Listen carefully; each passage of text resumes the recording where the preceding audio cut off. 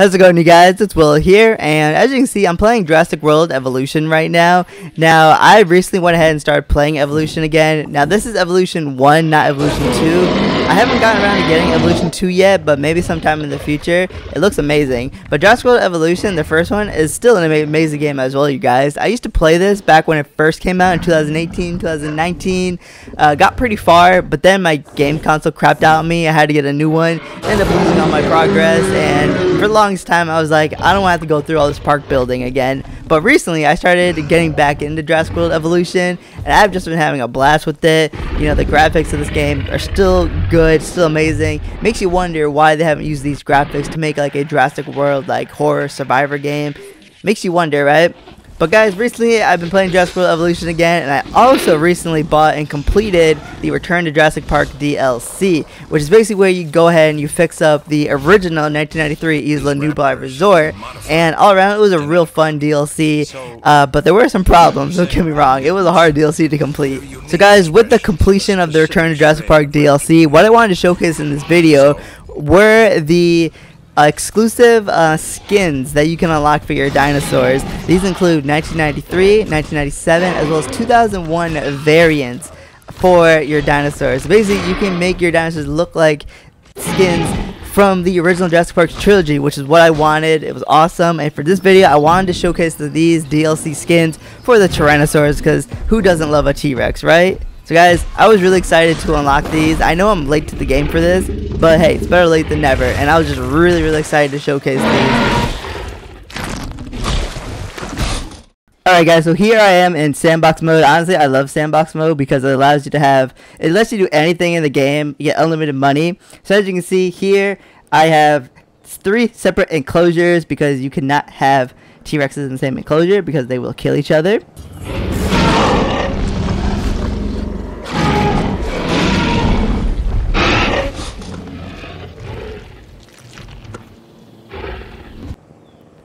So right here, we're doing our first skin. This is the 1993 skin. Now, this is classic Jurassic Park right here, or as fans like to call her, classic Rexy. I still don't like that name. I don't know why that's a thing.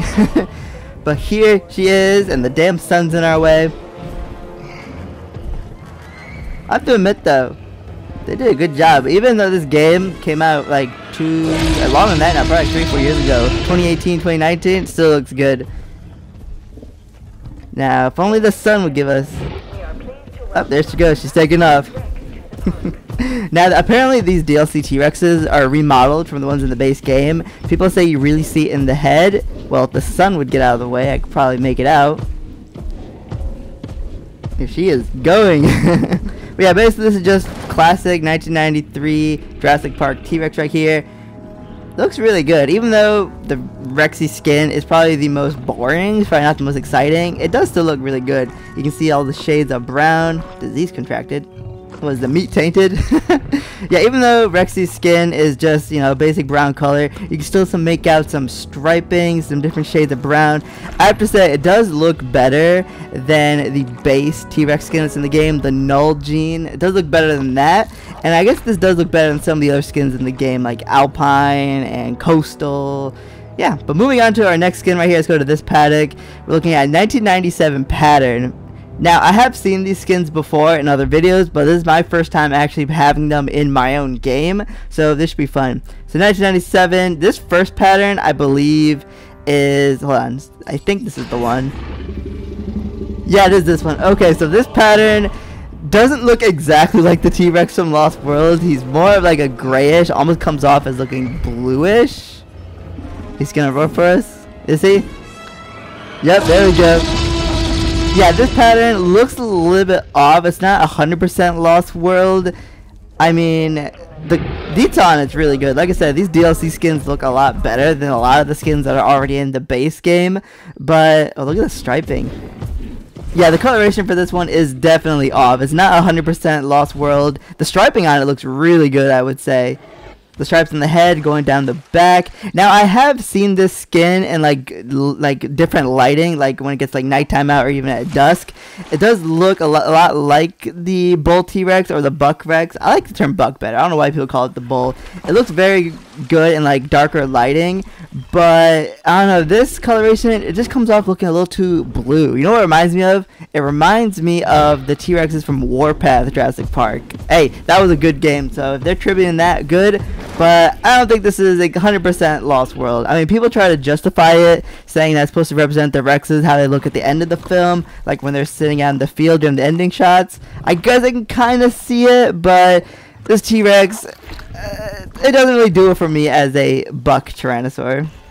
And now this next pattern, you guys. 1997 pattern A. I think this is more what we expect from Lost World. Take a look. Yes, now this is the Tyrannosaur buck right here. This is what you expect when you think of that male T-Rex from Lost World. Is he gonna roar? Yes, that coloring looks awesome. Yeah, this is the one I was most excited to unlock, and I'm sure a lot of other people felt the same way when they first played this DLC, because everyone loves the Lost World. Everyone loves that Tyrannosaur Buck when he rampages through San Diego, and they want to have that in their game, and now they can. Now, the reason why I'm saying this is the Tyrannosaur Buck from Lost World and not the T-Rex from Jurassic Park 3 is if you just look at the coloring on him. Now, the Tyrannosaur Buck from Lost World had a very interesting color scheme, I will say. It had a, lot of light green and dark green shading, but it also had very distinctive yellow stripes, which this coloration very much has. So yeah, the T-Rex from Jurassic Park 3 looks, it's very similar to this. I definitely understand how why people get confused and think this could be the T-Rex from Jurassic Park 3. But when you look at pictures side by side, you can clearly see the differences between Tyrannosaur Buck from Lost World and Jurassic Park 3's Rex. Jurassic Park 3's T-Rex is mostly green. It's mostly like a light green with some dark green shading, but there's no yellow on it at all. It doesn't have that distinctive yellow that the full-grown Buck from Lost World has. They did such a great job on this skin. This is hands down my favorite, as I'm sure it is a lot of other people feel the same way. I'm sure a lot of people felt the same way when they first saw this. Yeah, drink up, big boy. yeah, but seriously, this skin that's supposed to represent the Lost World Rex just looks incredible. It looks the best when you have like really nice sunlight on it because then you really get to see all the shades of green and most importantly, those yellow stripes. But alright guys, I guess we'll go ahead and release the last two skins. Don't really have much to say about them, other than the fact that they're not what they're supposed to be. Let's take a look. I believe I have one of them in here. Now it says 2001, but let me assure you, this is not the T-Rex you saw in Jurassic Park 3. Let's release it.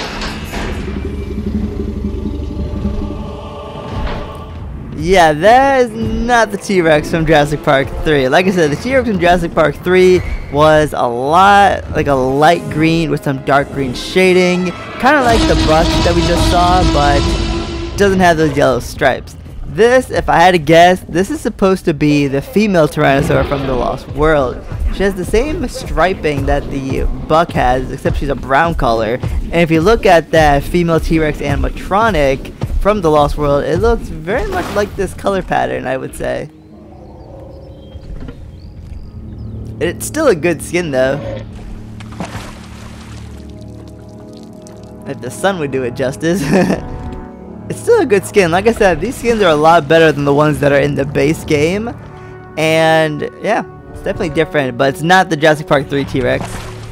Oh boy, they're gonna fight. Hold on, they might fight because I have two T-Rexes in an enclosure. Alright guys, we, have one more skin to look at, and then we'll come back to these two. The, the last skin, you guys, I actually really like. It's called 2001A, but again, it's not a 2001 skin, but it might remind you of something very much like the Jurassic Park novel, maybe.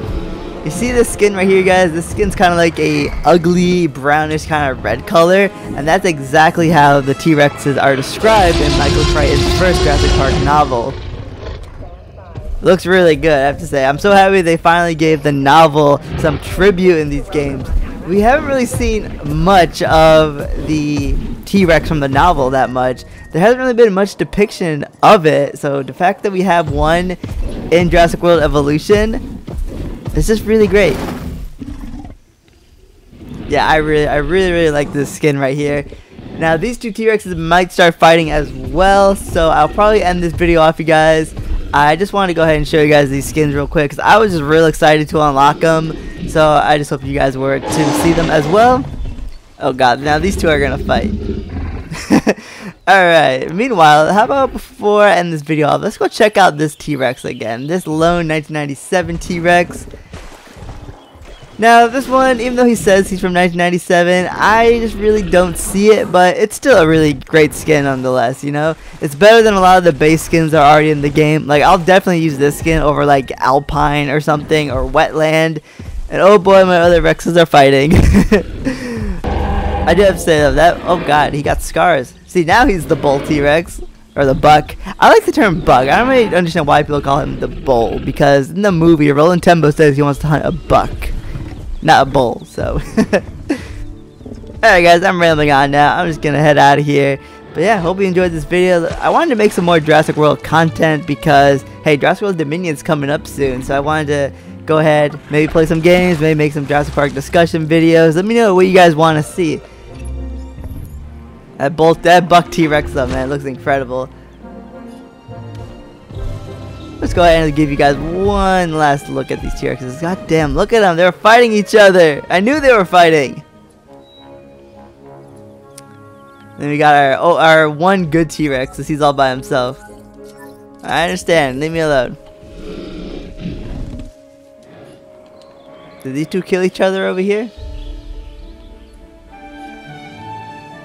I'm really digging this one right here. This 100% represents what the T-Rex looked like in the novel. My screen's glitching. I apologize for that. yeah, this DLC was just hella awesome. So this is why you cannot have more than one T-Rex in an enclosure, you guys, because they don't like it. You can get away with it in Evolution 2, but in Evolution 1, they don't like it, and they will break out. Luckily, this is sandbox mode, so they won't do any harm, but, yeah.